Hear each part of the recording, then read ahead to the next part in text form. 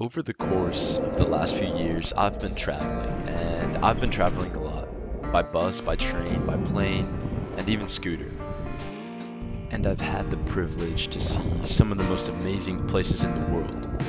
And let me tell you, the view was insane. Yeah. I likewise have been able to do breathtaking things that I never even dreamed I'd be able to do. Fell in love with adrenaline seeking escapades. The rush inspired an ecstasy inside of me that kept me coming for more. The harder the challenge, the greater the triumph.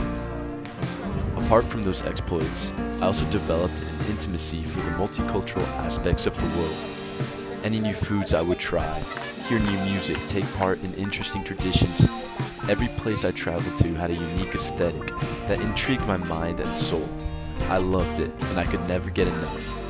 Because every day was something new that would take your breath away. But there was one more facet I became conscious of that had more importance to me than anything I'd ever done. More than the travel and the adrenaline. I realized that what I loved most in life was not feeling all the experiences, not seeing the view, but rather to share my perspective of the world with others.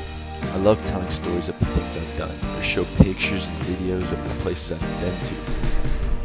When people light up at your stories and come back for more, that is a feeling greater than any other.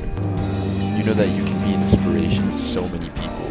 You can motivate them. I believe that when you take something you love and you share it with the rest of the world, well, I believe that's how you can change it.